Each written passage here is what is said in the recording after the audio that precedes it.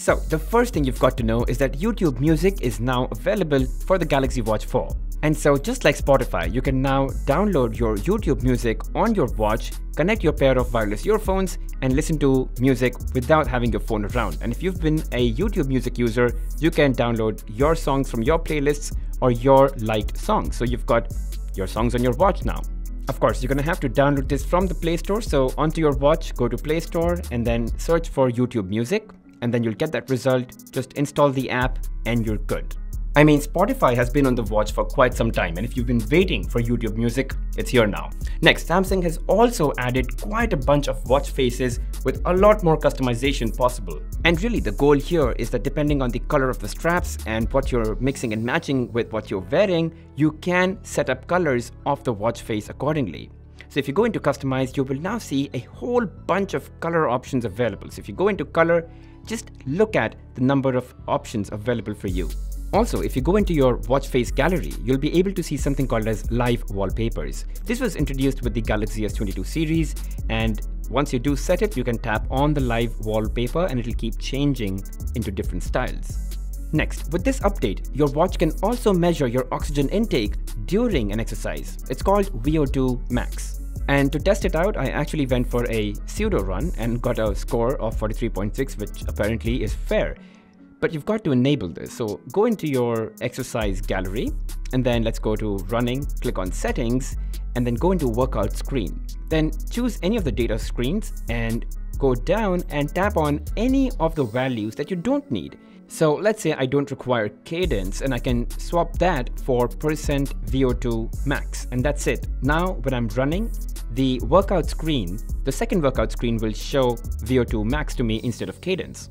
But remember, to start VO2 max measurement, you must walk for 10 minutes at a speed of 4 kilometers per hour on a flat surface, and that's it. And guys, before we move on, if you're finding any of this useful, it would mean a lot to me if you could show some support for the channel. And all you gotta do is hit that like button, subscribe to the channel, and hit that bell notification icon. That's it. Alright, now let's move on. Alright, next. The Galaxy Watch 4 can now measure heart rate recovery after an exercise. So if you continue to wear your watch after your exercise, then it would continue to monitor your heart rate for the next 2 minutes and it will show you how long it took for your heart rate to come down. The faster it comes down to a stable value, the more healthy your heart is. Oh, and now with your Watch 4, you can measure how much sweat you lost, literally in milliliters. So after an exercise, although I did not have that enabled, but I did scroll down and I saw that if you did run for uh, 2.5 kilometers at 5 kilometers an hour, it would start tracking how much sweat you lost. Next, if you've been having issues falling asleep, Samsung has introduced something called as Sleep Coach on its Samsung Health app.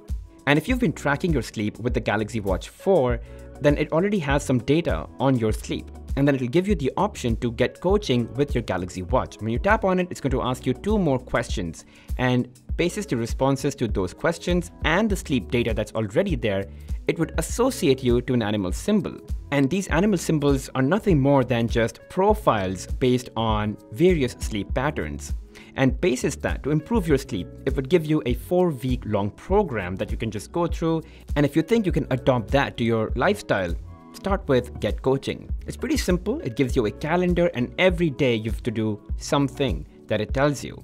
And once you do, say mission completed and then you'll get the next day's mission. And just to give you an idea, these are the eight profiles or the eight animal symbols. It would be fun to see what you guys get as your animal symbol, so let me know in the comment section below. Okay, so now we know that Galaxy Watch 4 can measure body composition, but with the update, you can set a target that you'd like to achieve with regards to your body composition. Now because I was already playing with it, I could go ahead and click on set new target and I can set up a weight target, a body fat target and a skeletal muscle target. And once I have those set up, I can also enable to get reminder notifications. And so on Monday, Wednesdays, and Fridays at 8 am, I'll get tips on how I can achieve my body composition target.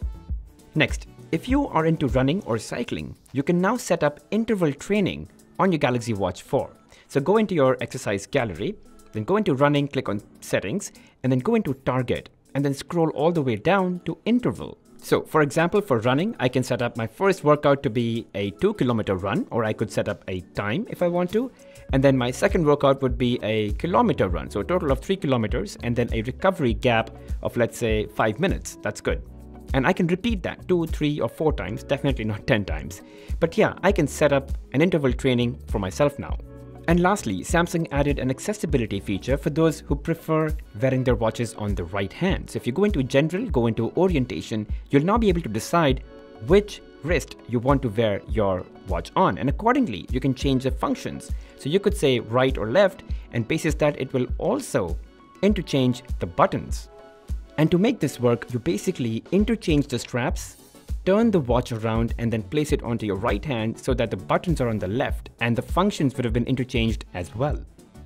And I'm actually very pleasantly surprised that Samsung has paid attention to such meticulous detail that a user may have preference towards which wrist they wear their watch on. I think that's what sets a few products apart from the others. Now guys, these are not the only updates that came to the Galaxy Watch 4 and to the wearable app. There are quite a few others, but I just wanted to talk about those that made more sense to me personally. So yeah, there are quite a few others out there. Uh, you could go through the change log uh, and see which ones really make more sense for you. All right, thanks for watching, guys. If you guys have any questions, feel free to drop them in the comment section below. And as always, guys, if this was helpful, make sure you hit that like button, subscribe to the channel, and hit that bell notification icon. I'll see you guys in the next one.